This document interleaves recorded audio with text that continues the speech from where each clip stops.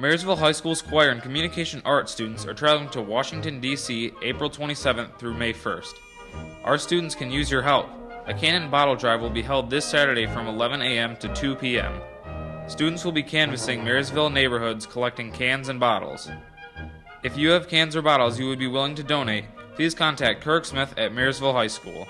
You can call 810-455-6055 or email him at ksmith at marysvilleschools.us.